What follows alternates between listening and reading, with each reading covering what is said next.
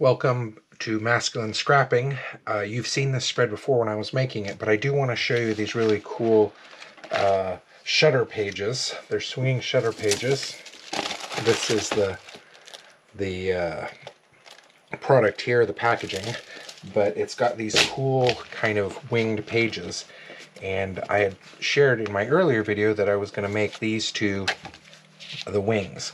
Now I want to show you though that they are not going to fit because it can't be quite six inches. Oh, actually no, they are fitting. Look at that. Perfect.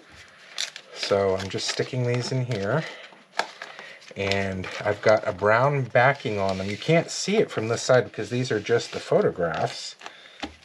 Um, but I purposefully chose a brown backing for these because when we open them up, I want to be able to put these brochures uh, on the inside. So they're just, I'm not going to tape them down. I'm just going to slide them in there. That way they can be pulled out later if somebody wants to, to look at them. Um,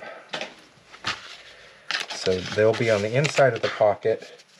And then this page here, and the, this is always a little complicated. I'm not really sure how I'm going to get this in here, but there we go.